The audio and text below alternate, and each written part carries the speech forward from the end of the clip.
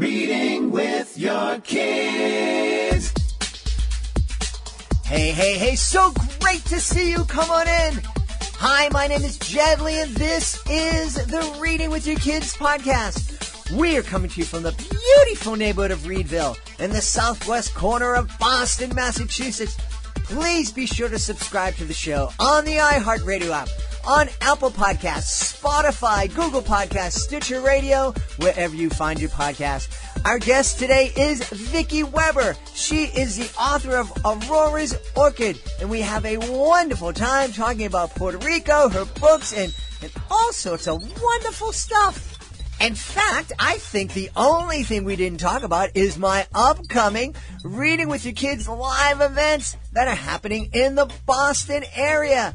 That's right. Come on out and experience Reading with Your Kids live, happening twice this spring. We're going to be at the East Boston branch of the Boston Public Library in just a few days, March 21st. We're going to have a great time. We'll be there from noon to 3 p.m. We'll be presenting our totally interactive magic show, a magic workshop. We'll be having story times, book giveaways, and we'll have a special parenting workshop presented by the folks at the Boston Public Schools Parent University. Like I said, it's all happening at the East Boston branch of the Boston Public Library on March 21st, noon to 3 p.m. And on April 5th, make your way down to Kingston Collection in Kingston, Massachusetts to be a part of the South Shore Kids Expo. There's going to be all sorts of amazing things happening. And one of those amazing things is the Reading with Your Kids podcast. Come on over to our totally interactive booth. Become a part of a future episode of the Reading with Your Kids podcast. And be sure to check out our totally interactive magic show. It's all happening April 5th at Kingston Collection South Shore Kids Expo joining us on the line right now from right outside of Chicago. She is the author of uh, two great books that we're going to be speaking to, about tonight. Please welcome to the show, Vicky Weber. Vicky, how are you? Good. How about yourself? Oh, it's wonderful. We don't have any snow in the ground here in Boston right now. This is great. I love it. We actually, um, we got like a warning about a storm and we got nothing out here. My backyard's all melted, so you you know, go. I'll take it. there you go. There you go. Well, you know, it's uh, interesting that we- we're appreciating the the unusually warm weather here in the northern part of the United States. Uh, the first book takes place in a beautiful part of the world that's sunny almost all the time. Tell us all about Aurora's Orchid, please. So, okay, so my first book, um, Aurora's Orchid, is actually um, based on a true story of my family. Um, it is my first book, and I was fortunate enough um, to keep it a secret from my dad. He knew I was writing books, but he didn't know I was writing that one. And um, so I got to surprise him with it on Christmas Day um, as his Christmas present. And he actually is one of the characters in the story. Um, and the story is about his mother, um, my grandmother. Her name was Aurora, and um, she planted uh, an orchid in Puerto Rico, and it didn't bloom until the day she passed away. Um, and so it's a huge tradition in my family that anytime someone visits the house in Puerto Rico, you take a picture with the orchid and you send it to all the cousins and um, so I turned it into a, a children's story um, to teach the importance of family and patience and that sometimes things don't turn out the way you expect them to. You know, I've, I've mentioned on the show um, a, a number of times that my wife, i my wife's family is originally from Puerto Rico, and I have a deep, deep love of Puerto Rico, and I've I've had the pleasure and honor of visiting and, per- and performing in every town on the island. It's it's an incredible place. Most people who go down there, they they go to San Juan, they go to the resorts, and those are nice, but you're missing the island. The island is magical. And one of the things that really blew me away the first time I was down there, and uh, it was the first time I was in any kind of tropical paradise or whatever. Uh, we're, we're walking in El Yunque, the rainforest, and I came upon an orchid growing wildly and, and these flowers. I'm like, back in Boston, it cost me 50 bucks to get one of these things. And here they are growing in the wild. It's amazing. Well, anytime my um my brother has gone, because there's the um there's lizards and there's geckos everywhere, and they they shed your tail, and he was always like, I'm gonna get one this time. I'm gonna get one this time. and never never worked out. My mom always hated it. She's like, I, I'm ready to go home where there aren't you know plants everywhere and bugs everywhere and the sun. But my mom is the Irish one, so. Well, my Irish mom loved Puerto Rico, but the thing that I'll be honest with you, the thing that because my Irish mom wasn't a big fan of the sun because, like a lot of us, she spends you know more than two or three minutes in the sun, and you know she gets sick. Um, but she fell in love. I say she fell in love with the island, but what she fell in love with was the people Yeah. and the family and the fact that you're down there and you, you can be with folks for just a very short period of time, but you become family almost instantly. mhm Yeah, I, I brought my um my now husband. Um, at the time he was just my boyfriend. We actually got engaged uh, at the house in Puerto Rico. Ah. Um, but it was amazing because you know he, I obviously had these deep bonds with my family, and he didn't know them, and it was you know a matter of minutes before they you know welcomed him in and treated him like they'd known him all their lives. And I definitely feel like anybody who's gone to Puerto Rico with me has gotten that same experience. Even um sometimes I'll go down there and I'll be like, "Oh, which cousin is this?" And my dad's like, "Oh, that's not our cousin. That's that's so and so. They live next door to so and so. We just they're just always at the family parties." And the and the beautiful thing be- before GPS, the the beautiful thing about you get when you're getting directions. Anytime you're getting directions, you never get street names. no. It was always you go down there, you take a left at Maria's house, and you go down, and then Consuela's. She's always sitting on the porch. So when you get to the, you take a right there, and you and it's Everybody knew what that meant. and it worked. It, we were able to get around great. But that that I, I, it sounds like Aurora's orchid just really captures that love and that sense of family that is so strong down on the island. Yeah, that was really my goal. And one of my favorite parts about this story um, was that you know it is it is a story about Puerto Rico. There are not very many children's books that take place in Puerto Rico or um, that have all Puerto Rican characters in it. So that was really important for me. But I also um, made a really big point to make sure that throughout the story I sprinkled Spanish throughout, and I tried to put it in a way that any English speaker would be able to um, figure out what it meant just through context clues. Um, be, but you know, I really wanted it to be authentic and and really reflect um, that authenticity and that language and um, the feeling. Yeah. Yeah, that's that's beautiful. One of the I, I, I have to ask. This is such a beautiful part of of Aurora's orchid story that you wrote this book and you gave it to your dad on Christmas. What was his reaction? Um, so my dad is not a crier. He is. He's a very um, It's a macho man. emotional man, Yeah. but but he's not a big crier. And uh, so yeah, there were there were a lot of tears on his end. I actually so the the dedication to the book um, just has a, a a single orchid. And it says, to my father for always reminding me when life got difficult that this too shall pass, because that's like his motto that he says to everything. Um, and then I ended it with labu most. So when I was little, I couldn't say I love you, and I would say I labu labu. And so that's just, he won't tell me he loves me. He, like, even when I'm texting him, he won't say he loves me. He says labu. Ah. So I, I put that in the text for him as well. So I think the dedication is what tipped him over the edge a little. That's beautiful. You know, one of the things, uh, and, and I, it was something that really amazed me when uh, I was welcomed into this beautiful Puerto Rican family and got to know them, is that there's a, there are a lot of similarities. You mentioned that your mom is Irish. There's a lot of similarities between the two cultures, and in one of the, I, I probably the biggest, one of the biggest similarities is that there's more Irish Americans and more Puerto Ricans living in the continental United States than are back on the island, and there's more Irish Americans than are back in Ireland. What a fa- is it's mind-boggling sometimes to think about that. Right. Yeah.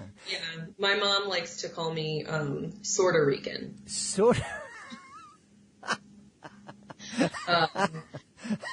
That got the Irish half. Uh-huh. I I like that. I like that. I my, my kids are a little bit older now. I'm not sure if they'd appreciate it. They would have appreciated it when they were they were kids. That's wonderful. What's the reaction been to folks who have uh, experienced Aurora's orchid? Um, yeah, so I've gotten um, really great reviews. I actually just talked to a school today um, about they want to include it in their um, dual language program um, as well because they just really like that it does include the Spanish, um, but it has the English context clues, and so they found um, like a lot of value in tying those things together. Um, I'm actually a teacher myself.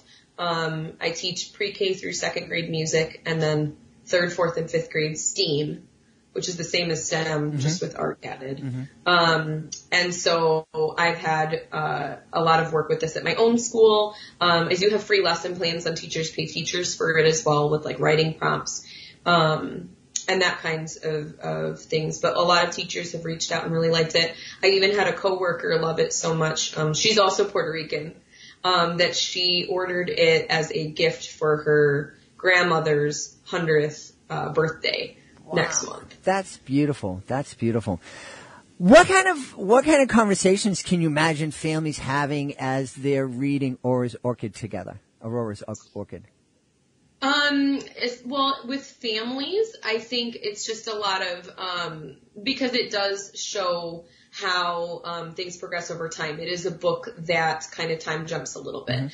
Um, so I think it's important to see that all the characters start as, as very young, um, and with each page they get a little bit older and their experience with their mother is a little bit different. So this is a really easy gateway to talking to your children about, you know, what, what happens when you, um, grow up and really living in the moment, um, taking advantage of, uh, the opportunities that you have with the people that you have while you have them.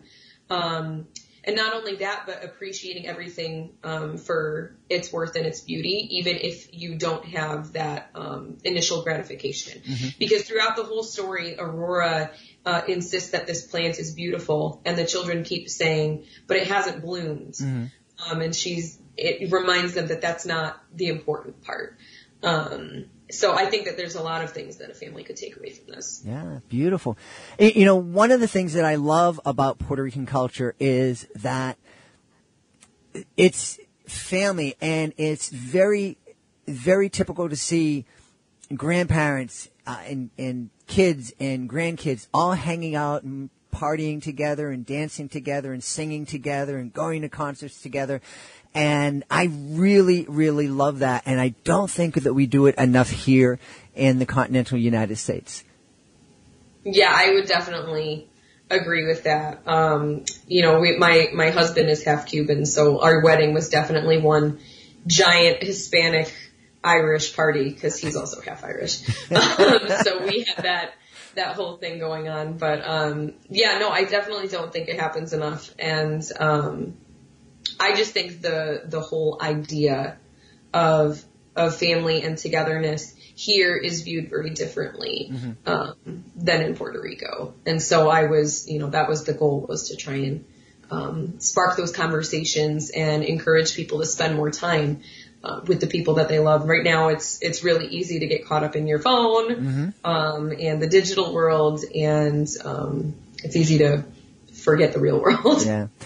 And, and one of the reasons I'm, I'm, I'm consciously using the term continental United States is because I want people to understand that Puerto Rico is part of the United States. And we are all one big family.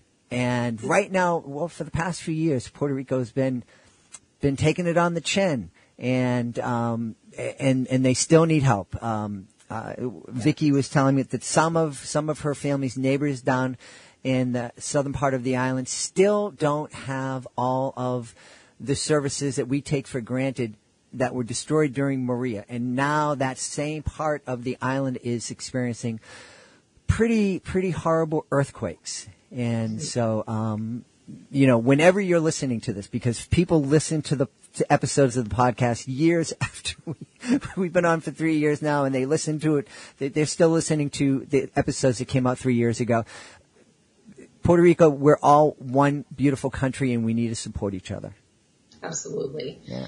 Um, yeah, and that, that's the thing is a lot of people don't even realize some of um, who have been affected the most. Honestly, when Maria hit, um, you know, my family, uh, who you know is is fortunate enough to to be here and doing well for themselves. You know, we sent what supplies we could. Um, but honestly, the family members we were sending it to in Puerto Rico, they weren't really the ones who needed, um, you know, food and water and supplies.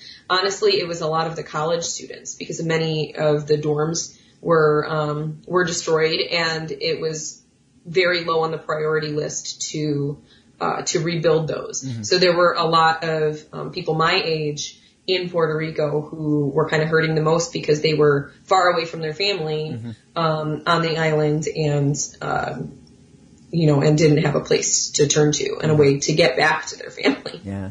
Well, they're in my prayers every every single night, and um, I just you know. They're going to be back. It's it's a beautiful island. There's there's a lot of strength. There's a lot of love and a lot of pride down there. So um, we're and we want to support them coming back. One of the things you mentioned is that you're a music teacher, so it makes sense that the new book that was recently released, Laszlo Learns Recorder, is all about music.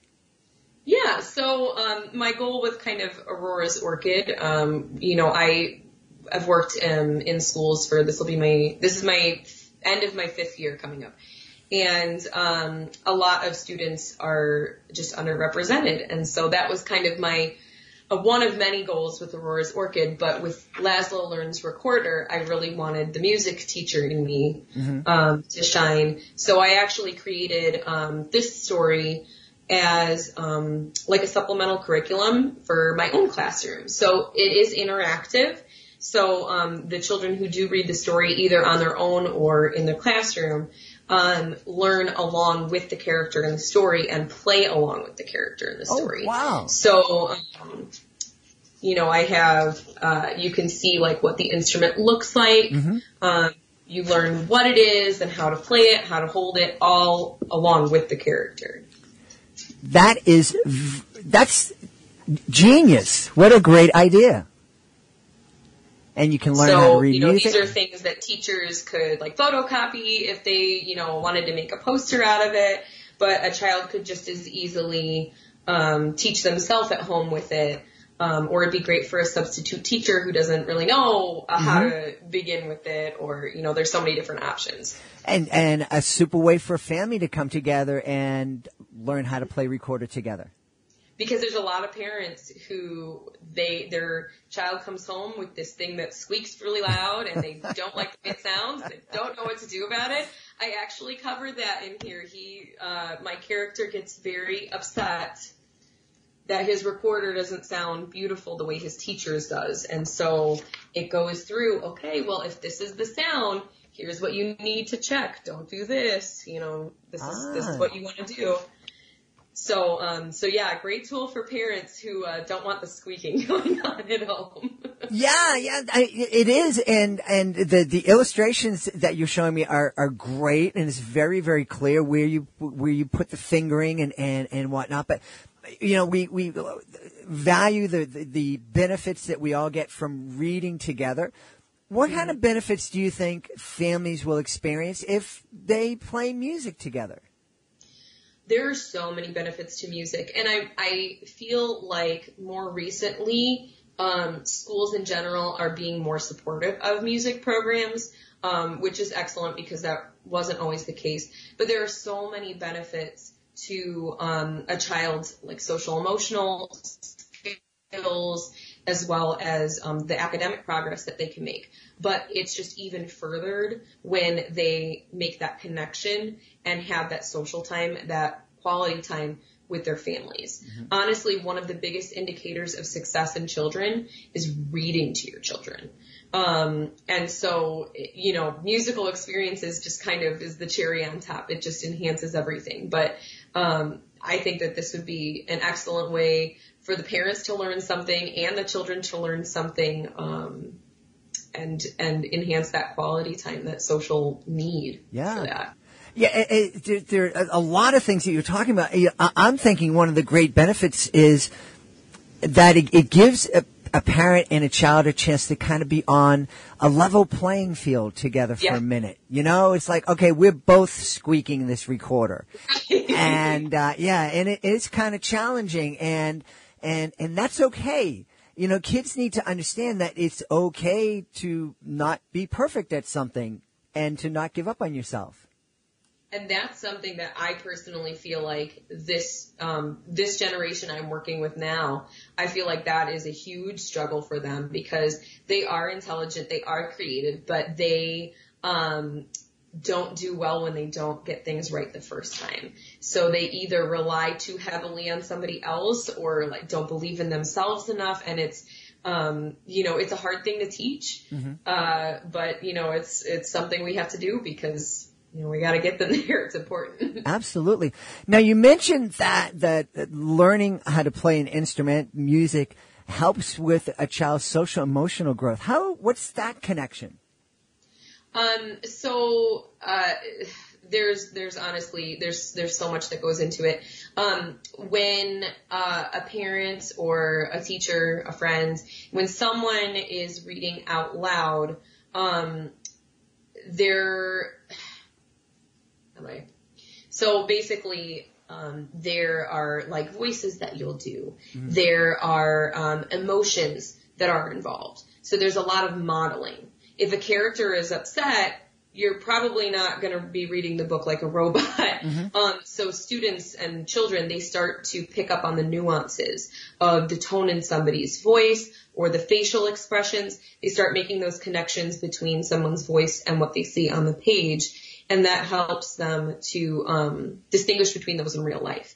Because children are naturally egocentric. Um, they're just, that's the way they're designed. So it is really difficult for them to see things from somebody else's perspective. Um, and reading to them and with them uh, helps them understand what somebody else's perspective is. And you know, as you were speaking, I'm thinking, you know, earlier we were talking about Aurora's orchid earlier in in beautiful Puerto Rican culture. I think music is one of those gateways that's the, probably the easiest way to gain a perspective, you know, to, to start learning per, uh, uh, another culture, to be, you know, kind of start to look at, at through to the, at the world through, through that different culture's perspective. And it's safe and it's fun. Um, and, uh, what a beautiful gift it is to give to our kids. Absolutely. And, you know, in my music class, I love to teach um, songs in other languages because you don't need to um, speak a language fluently to sing a song in another language.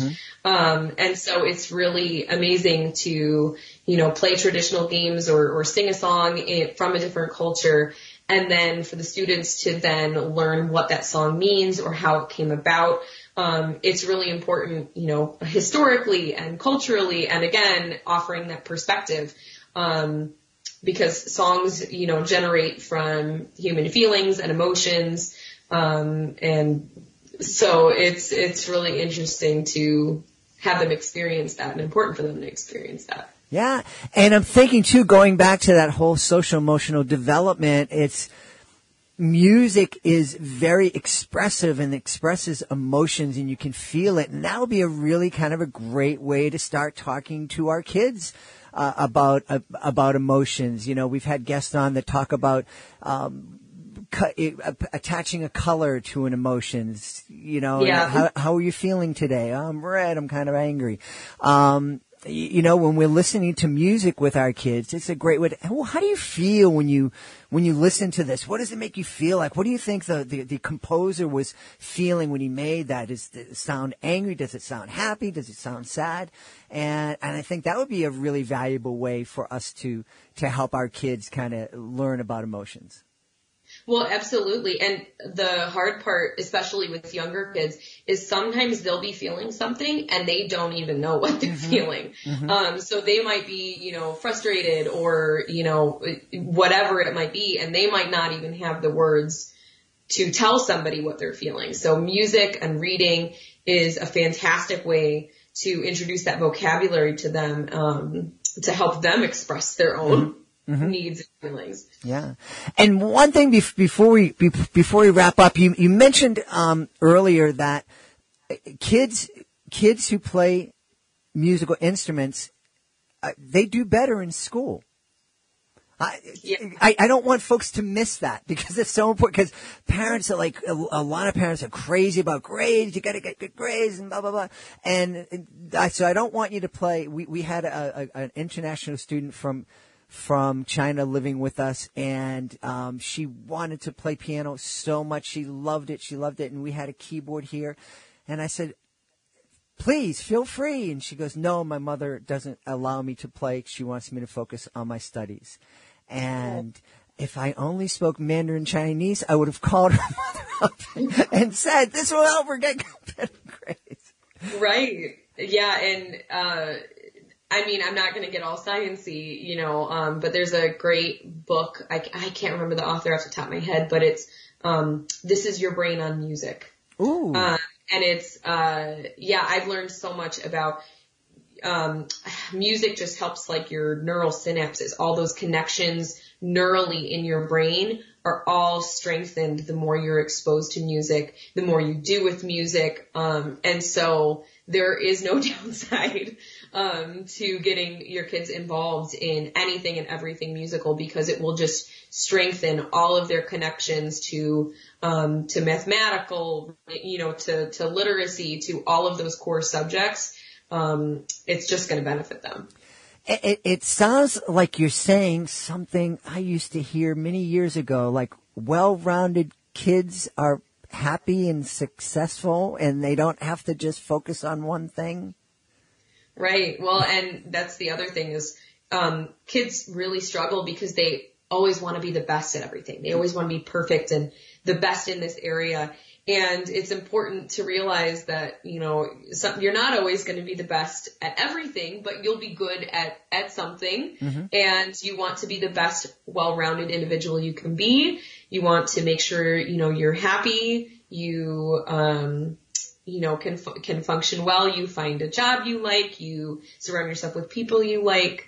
Um, and that those things are more important than being the best at this one particular thing in this one area. That's that's a huge takeaway.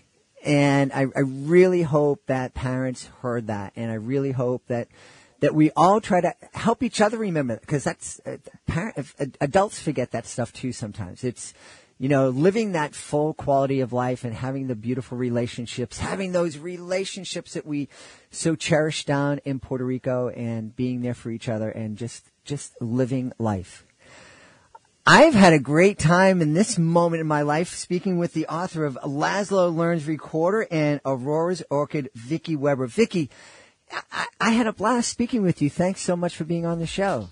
Thank you for having me. I had a blast as well.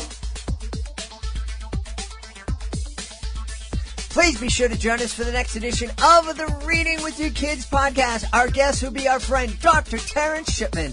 He'll be back to let us know about the brand new addition to his Kindergarten Chronicles series. It's called The Field Day. I'm really excited to welcome Dr. Shipman back. We always have a great time speaking with him. We want to thank the folks who made today's show so wonderful. Of course, we want to thank our guest, Vicky Weber. Be sure to check out both of her amazing books. Also want to thank the members of my team. want to thank my amazing producer, Fatima Khan, for all she does for the show. I want to thank my author ambassador, Peggy Kodo. If you are looking for help helping your book stand out from the crowd of books that are published every single month, be sure to check out my friend Peggy. She will let you know how we can help you. I want to thank my beautiful wife for all the support she offers me. I want to thank you. Thank you so much for taking the time to join us today. And as always, thank you so very much for taking the time to make the world a better place by reading with your kids. I'll be looking for you in the next edition of the Reading with Your Kids podcast.